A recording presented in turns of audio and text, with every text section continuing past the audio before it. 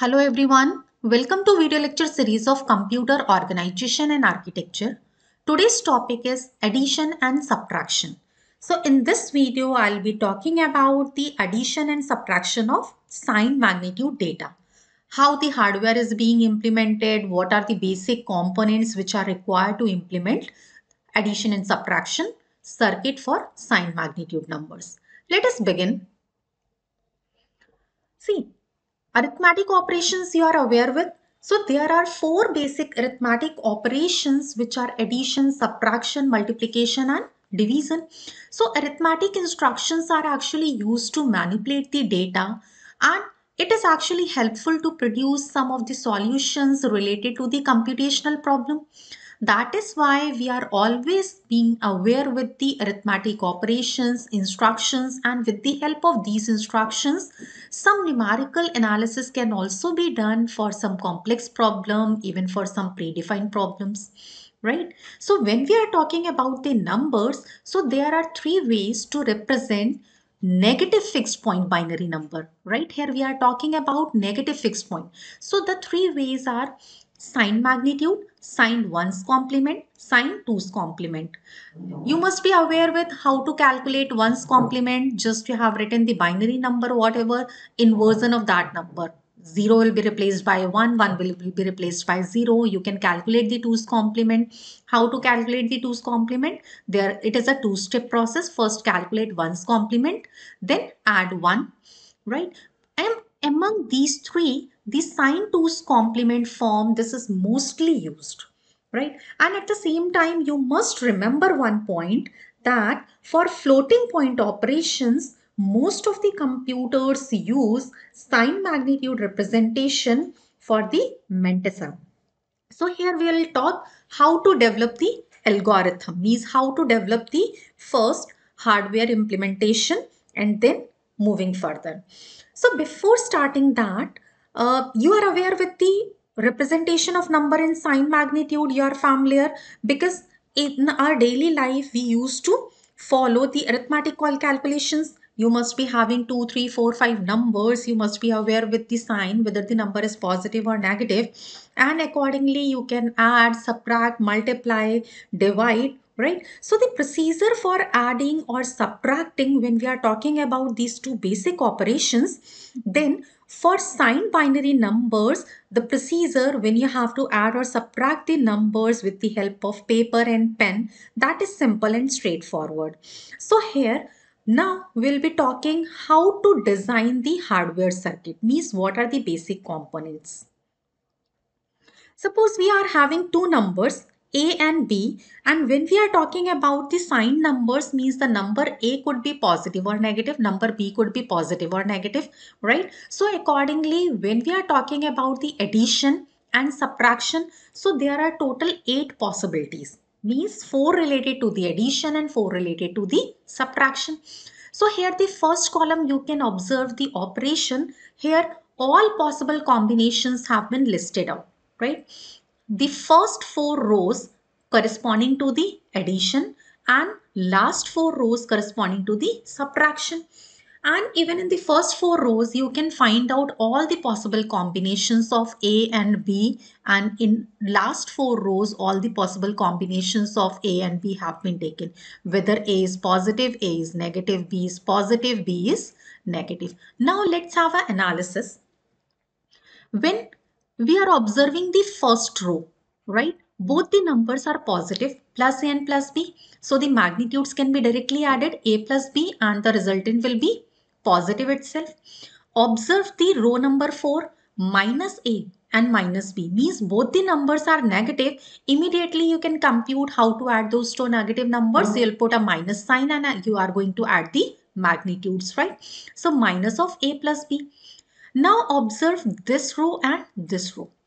Here the sign of A and B are opposite and there is a subtraction right? So when you are adding the number it means this is what? Minus minus of b this is plus. So plus of a plus b. Minus a minus of b minus a minus you will be taking common. So resultant is a plus b.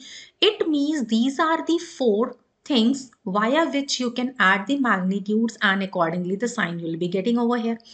But when we are talking about the subtracting magnitudes, so subtraction always depends. Suppose you have to subtract 12 from 15. So 15 minus 12 will be getting plus 3 if you're subtracting 15 from 12 you know that 15 is larger than 12 so you'll be getting minus 3 right? It means depends which number is positive greater than or larger than. Means here three conditions arises. A is greater than b a is less than b and a is equal to b. So all these three conditions must be con considered over here and in the last column which you can observe 8 is equal to b. This column is nothing when both the numbers are equal and you are performing the subtraction operation. The result will be what? Either plus 0 or minus 0 means here you will be getting the result which is equal uh, subtraction of the equal numbers the resultant will be the 0 only but now when a is greater than b or a is less than b you can consider now observe the second row plus a minus b a is greater than b. So what you are getting when a is greater than b, it will be plus of a minus b. As I have given you the example, you are subtracting 12 from 15. So you will be getting the result plus 3. If you are subtracting 15 from 12, so depending upon which number is higher, you are getting the result minus 3. Similarly, you can observe for third row minus a plus b. And when we say a is less than b. So when a is less than b, the result will be the positive one. So here what you are getting? Plus b minus a. Accordingly, let us have a look on this number, this row plus a minus plus b means both the numbers are positive but when the number a is greater than b you are getting a minus b when the number b is greater than a you are getting minus of b minus a right so accordingly you can observe in these all possible combinations how you are getting the magnitudes when you are adding the two numbers how you are getting the magnitudes and sign when you are subtracting the magnitudes right? It means addition and subtraction algorithm, you have to be very much careful in the subtraction case because there you have to consider all the three cases, whether the first number is greater than second number or the first number is less than the second number or both the numbers are equal. It means the algorithm will work accordingly depends upon the magnitude and accordingly the sign will be created right so it means now when we have to implement the hardware for this particular circuit, what kind of like elements we require or the components you can say. Because here we are going to perform the addition and subtraction. It means for addition, there is a requirement of adder. There must be a requirement of parallel adder which will add the numbers, right? So when you have to add, suppose we are having a and b two numbers and we have to add so we need the adder.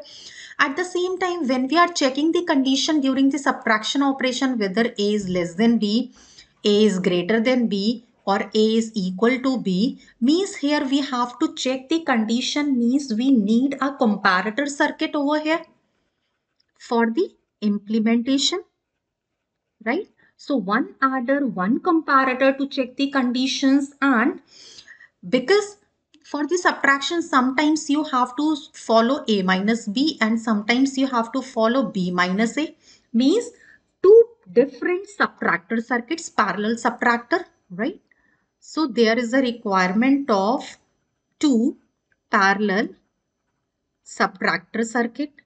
So now you can understand how many elements or the components you require actually. Adder two subtractor and a magnitude comparator right? One I'm sorry, one adder, one comparator, two parallel subtractor. So these many components. But when you are going to design the hardware for sign magnitude addition and subtraction, now we have to optimize the required equipment. Like, and there is a possibility we can optimize it. See, subtraction can also be performed with the help of addition you know if you are performing subtraction a minus b then how it is going to be performed if you take 2's complement of b which is b bar plus 1 you add in a then the addition will then the subtraction will be performed with the help of the addition so this particular manner, we can, in this approach, we can reduce the number of equipments, right? So now let us design the hardware. Suppose we are talking about two numbers, so we require two registers A and B which will store the data and number A may be positive or negative, B may be positive or negative. So there is a requirement of AS and BS. AS will store the sign of A. If it is positive, accordingly the sign will be stored negative accordingly, right? So AS and BS are the two flip-flops which will hold the sign of the numbers which have been stored in register A or B. And parallel adder is required to perform the micro operation A plus B. And there is a requirement of complementer because we have discussed that if we have to subtract one number from another, how it could be done? A plus B bar plus 1. So the complement is being required. So complementer is used. So now you can see this is the hardware implementation for sign magnitude addition and subtraction. This is very interesting. One number is stored in register A, another number is stored in register B. BS, it stores the sign of value or the number which is being stored in register B. If the number is positive, it will have 0. If the number is negative, it will have 1. So AS and BS holds the value related to the signs of these numbers and these are actually the flip-flops. They store one bit of information.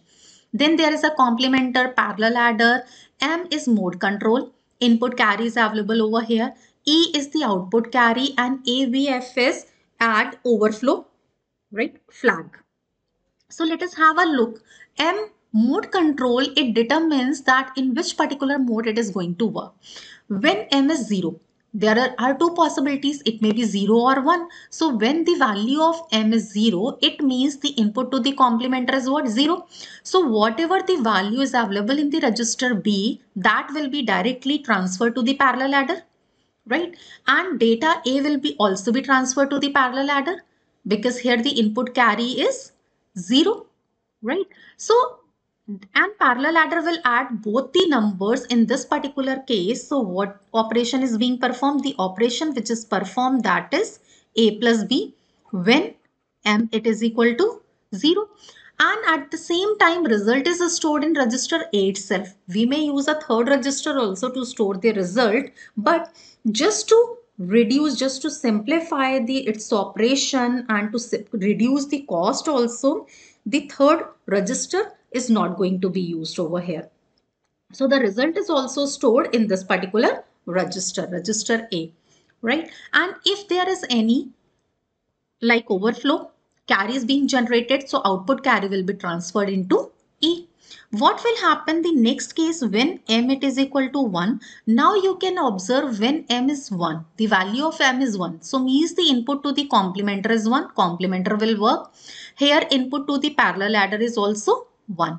Now what will happen? Whatever the register value, whatever the value is being stored in B register, that values is being complemented. Means here B bar. Parallel adder will add C B bar. Input to this is 1 and the data of register A which is A. Right. So this is what a plus 2's complement of B means here the subtraction operation is performed when the value of M is 1. So this is how this particular hardware can be implemented, right? So you must remember this particular point, how this particular hardware is being implemented. And you must remember that output carry that is being transferred into a flip-flop E. This E is also a flip-flop and it can store one bit of information and if during the addition, if there is any carry being generated, that will be transferred over here right?